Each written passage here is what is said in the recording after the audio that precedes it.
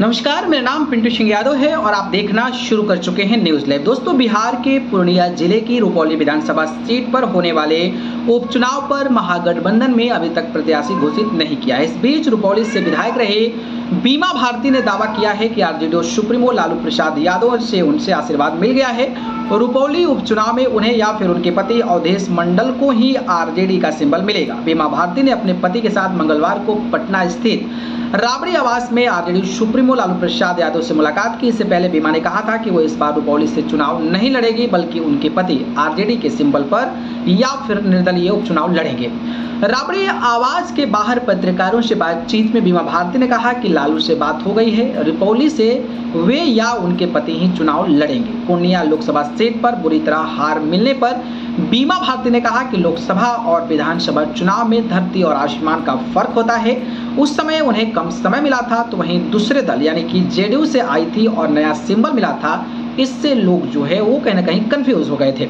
उन्होंने ये भी दावा किया है कि उनकी विधानसभा रुपौली से लोकसभा चुनाव में जेडीयू को इतनी लीड भी उनकी वजह से मिली। है क्षेत्र की महिलाएँ लोग समझ नहीं पाए कंफ्यूज हो गए और ज़्यादा वोट जेडीयू को मिल गया। लोकसभा चुनाव में हार पर उन्होंने कहा कि राजनीति में हार जीत लगी रहती है, राजनीति थोड़ी न छोड़ देंगे।